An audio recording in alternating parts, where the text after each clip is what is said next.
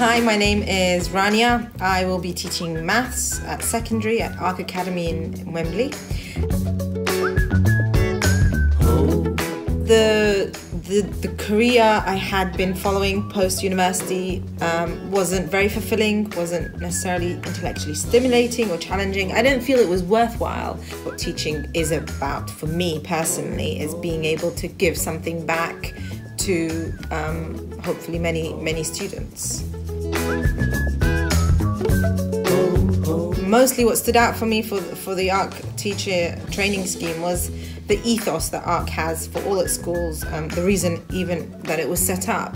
It's about working within deprived communities and really being able to give education, a good education to all of those um, students, regardless of the fact that they are growing up um, in deprived communities.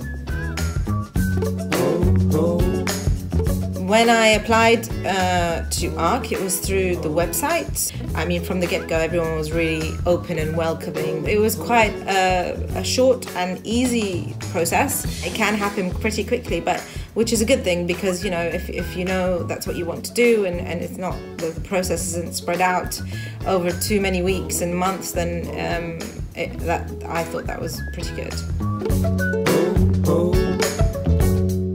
Summer school has been great for a few reasons, mostly in getting to know the other trainees, feeling like there is a real community of us now and, and um, we are expressing and sharing our fears and worries and, and nerves. It's also been great in that uh, we've been given a lot of information, all the things that I really uh, need to think about in order to say set up routines and expectations. Very much recommend um, you know being at the summer school because uh, it does really uh, give you lots to think about.